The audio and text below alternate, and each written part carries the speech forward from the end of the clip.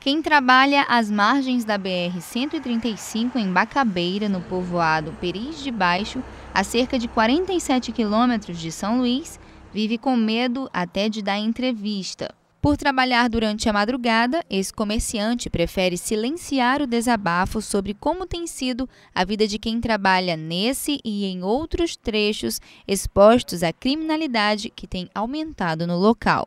A estrada calma de uma manhã de domingo, no início de ano, esconde perigos que não estão no asfalto. Em menos de uma semana, um pastor foi morto em Campos de Peris, após o carro da família ser abordado por bandidos.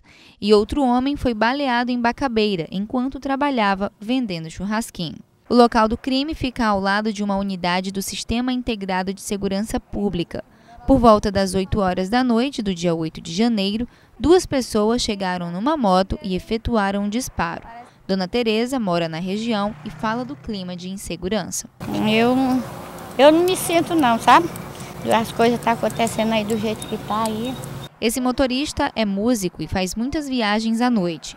Com a duplicação da BR e a melhoria na via, acredita que está melhor para viajar, mas já passou por uma situação de risco. Nesses anos tudinho de que eu trabalho com música, né? Sou empresário, mas nunca, nunca tivemos. Já tivemos situações que passamos por uma situação difícil, mas nunca chegou a ter uma evidência. Para coibir as ações em horários específicos em trechos com menos movimentação e iluminação, a Polícia Rodoviária Federal tem colocado mais equipes na rodovia para realizar o trabalho de ronda ostensiva. É, a PRF ela tem é, colocado equipes de reforço, né?